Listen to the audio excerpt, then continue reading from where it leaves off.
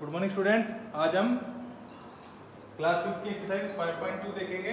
Last video में हमने exercise 5.1 discuss की थी, जिसमें हमने फैक्टर्स के बारे में पढ़ा था।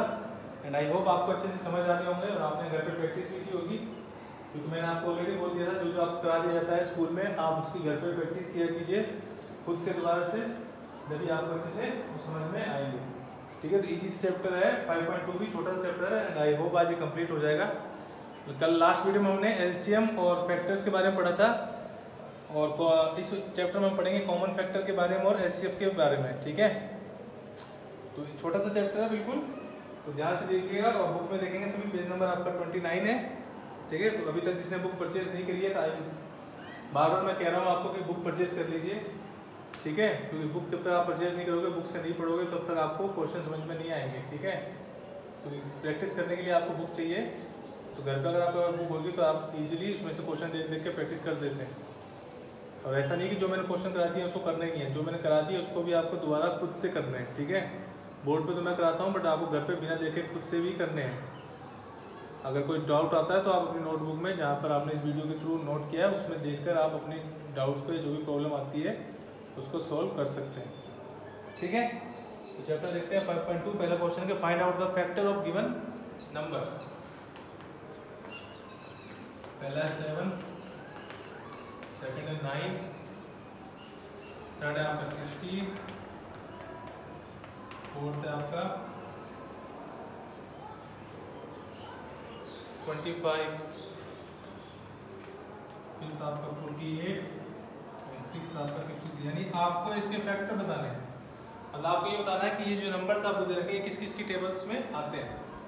अब जैसे सेवन है सेवन एक तो वन की टेबल में आएगा और सेवन की खुद की टेबल में, यानी कोई भी नंबर का फैक्टर होगा तो एक तो नंबर वो खुद ही होगा ही होगा, दूसरा वन होगा, कि वन की टेबल में सारे नंबर आते हैं, और दूसरा खुद का नंबर क्योंकि खुद की टेबल में तो आएगा ही आएगा। अब नाइन क्या है? तो वन होगा एक तो थ्री होगा और एक नाइन होगा। सिक्सटीन का देखते हैं तो वन होता है एक एक टू की टेबल में भी आता है फोर की टेबल में भी आता है एट की टेबल में भी आता है, और सिक्सटीन की टेबल में भी आएगा।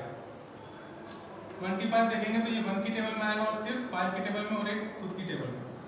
ठीक है?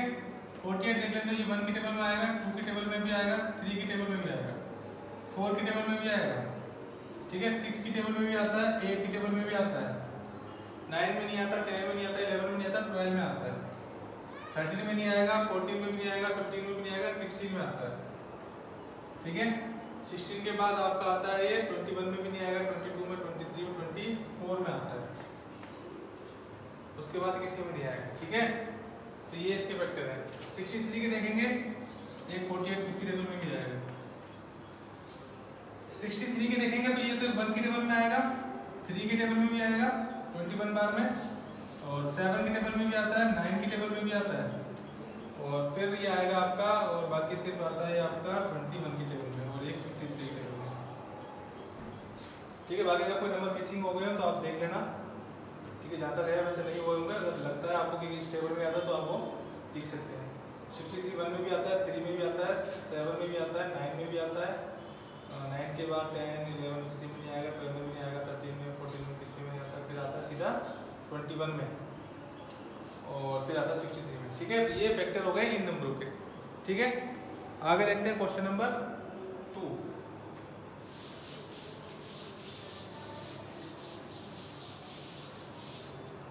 question number two में कहता है कि find out the common factor of given number यानी कॉमन फैक्टर यानी पहले तो फैक्टर निकालने हैं, उसके बाद कॉमन फैक्टर बताने हैं। जैसे पहला है eight and twelve eight and twelve तो पहले आप एट के फैक्टर लिखेंगे। एट के फैक्टर क्या होते हैं? वन की टेबल में आता है टू में आता है फोर में आता है, और एट में आता है। ठीक है?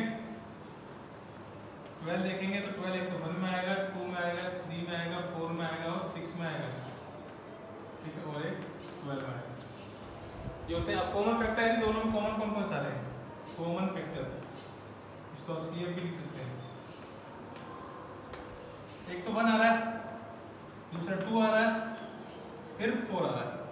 तो ये कॉमन फैक्टर हो गए एट और ट्वेल्व यानी ये कॉमन फैक्टर वन की टेबल में एट और ट्वेल्व आएगा आएगा टू की टेबल में भी एट और ट्वेल्व आता है फोर की टेबल में भी एट और ट्वेल्व आते हैं। तो ये हो गया आपके कॉमन फैक्टर सेकंड है आपका टेन एंड ट्वेंटी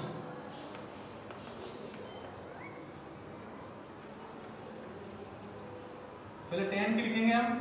टेन के वन टू फाइव और टेन यानी वन की टेबल में आएगा टू में भी आएगा फाइव में भी आएगा टेन में भी आएगा। ट्वेंटी के अगर हम देखें तो वन में भी आता है टू में भी आता है फोर में भी आता है फाइव में भी आता है। और उसके बाद टेन में भी आता है, फिर ये ट्वेंटी में आएगा। ठीक है? तो कॉमन फैक्टर अगर हम इसके देखें सी एम लिखता हूँ शॉर्ट फॉर्म वन है टू है फाइव है टेन है बस। तो ये हो गए कॉमन फैक्टर ऐसे आगे सेवन एंड सिक्सटीन लास्ट बता बाकी इसका जो बचा वो खुद करेंगे आप. सेवन के फैक्टर होंगे सिर्फ़ वन और सेवन एक सिर्फ़ प्राइम नंबर है क्योंकि सिक्सटीन के होंगे वन टू फोर एट और सिक्सटीन सी एफ़ निकालेंगे. एक तो आएगा वन वन ही आएगा ऐसे आपको 18 और 32 के निकालना है, वो आप खुद निकालेंगे। आप देखेंगे question number third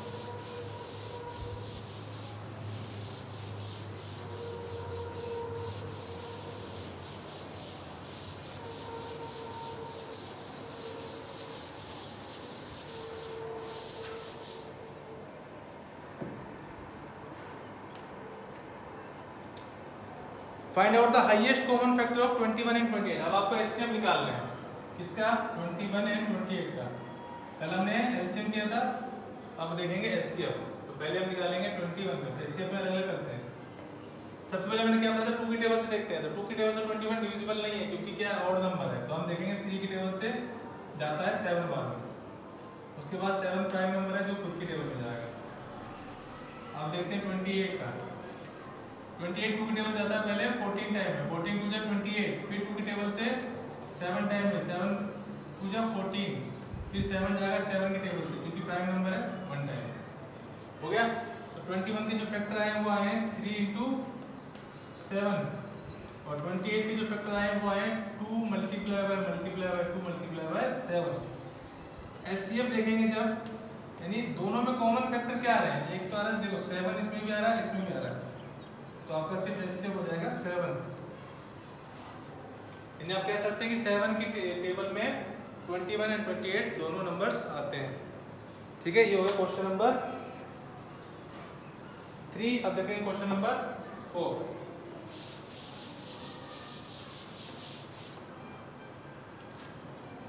I think five point two last chapter आपका हाँ।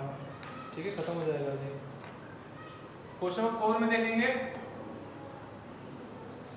Find out the highest highest number which can exactly divide 45 and 75 इसमें भी आपको एचसीएफ निकालना है 45 और 75 का।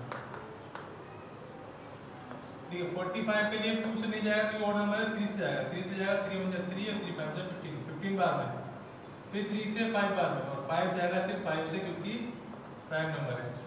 75 भी देखेंगे तो 75 2 से नहीं जाता है। 3 से जाएगा 25 बार में, और 25 5 से जाएगा और फाइव ओनली फाइव स्क्वायर ठीक है तो फोर्टी फाइव के जो फैक्टर आए, वो आए हैं three into three into five three three nine nine five जा फोर्टी फाइव सेवेंटी फाइव के देखेंगे तो ये आते हैं three into five into five three five जा fifteen fifteen five seventy five अब इसमें देखो कॉमन क्या रहा है? तो ये फाइव दोनों आ रहे हैं.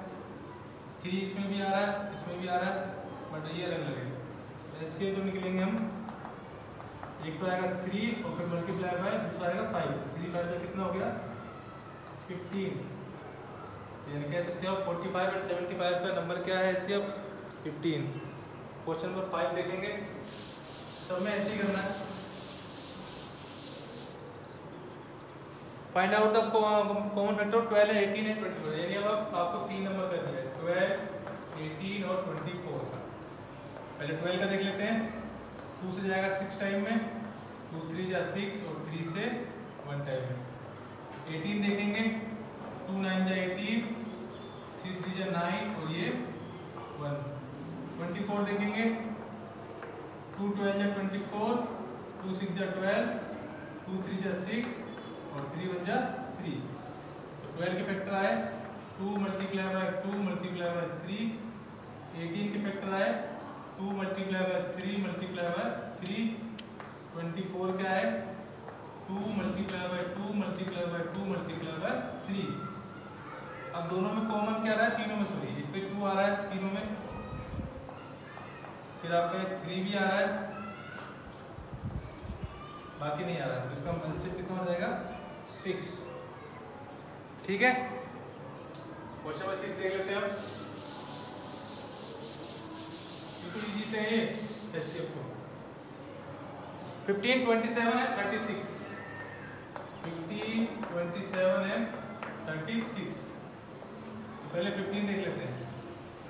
3 5 जा 15 3 टेबल आएगा और 5 बन पा 27 भी 3 की टेबल से 3 9 जा 27 3 3 जा 9 और ये 3 बन जा 3 36 देख लेते हैं। 2 की टेबल से जाएगा 18 बार में, फिर 2 से 9 बार में, और ये थ्री से नाइन, थ्री बार में, और ये वन। अब फिफ्टीन के फैक्टर जब लिखेंगे हम तो लिखेंगे three multiply by five twenty seven के लिखेंगे three multiply by three multiply by three thirty six के लिखेंगे two multiply by two multiply by three multiply by three ऐसे अब निकालेंगे, तीनों में कॉमन क्या रहा देखिए एक तो थ्री आ रहा है। और कुछ नहीं आ रहा। टू इसमें आ रहा है, इसमें नहीं आ रहा। फाइव भी आ रहा है। यहाँ से आपका सिर्फ़ थ्री ही आएगा। ठीक है? आगे है question number seven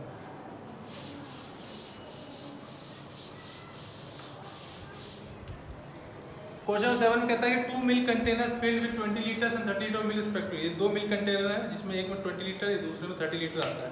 What will be the greatest measurement of a container that can measure total milk of both container exactly? तो इसमें आपसे पूछ रहा है कि इनकी ग्रेटेस्ट मेज़रमेंट क्या होगी कंटेनर की, कि जब आप इसको मेजर करते हैं तो दोनों की एग्जैक्टली मेज़रमेंट आए। तो आप कह सकते हैं कि अभी इसमें आपको क्या निकालना है? एस